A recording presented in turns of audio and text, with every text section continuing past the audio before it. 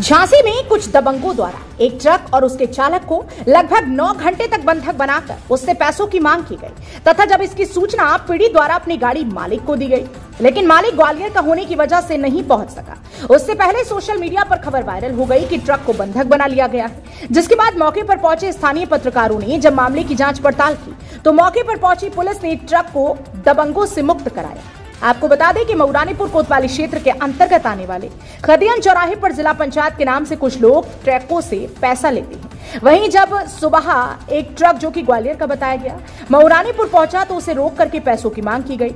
लेकिन जब ट्रक के चालक द्वारा कहा गया कि ट्रक में सरसों की खरी है, इसके कोई खनिज या इसमें मोरम नहीं, जिसका हम आपको पैसा दें। तो दबंगों द्वारा कहा गया कि जब तक पैसा नहीं दोगे, गाड़ी नहीं जाने देंगे।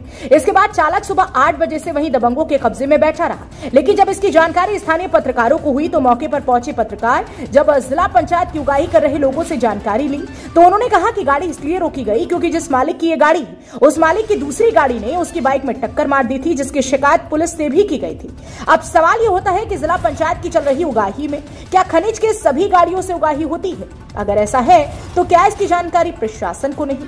आखिर किसकी शाह पर उक्त लोग खनिज के अलावा अन्य वाहनों से किस नाम के पैसे वसूल रहे हैं? और अब इन पर कब कार्रवाई होगी ये बड़ा सवाल है। क्या नाम है आपका?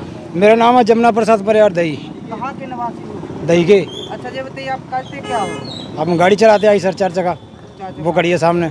अच्छा जी बताइए आप कब से रुके हो यहाँ पे? हम रुके सुबह आठ आठ बजे के करीब से। अच्छा आठ बजे से। हाँ। वजह क्या है आखिर रुक वजह जे क्या है आप जे हो जे रोके हैं पर्ची वाले मेरी कोई वजह नहीं है ना मेरी गाड़ी को जे कह रहे किसी गाड़ी गल गई है किसी में दे गई है उसकी वजह से जे मेरे को रोके हैं। अच्छा ये बताइए आपसे गाड़ी खली थी कि किसी और से? मेरे से नहीं गाड़ी मैं तो छुट्टी बताओ उस दिन।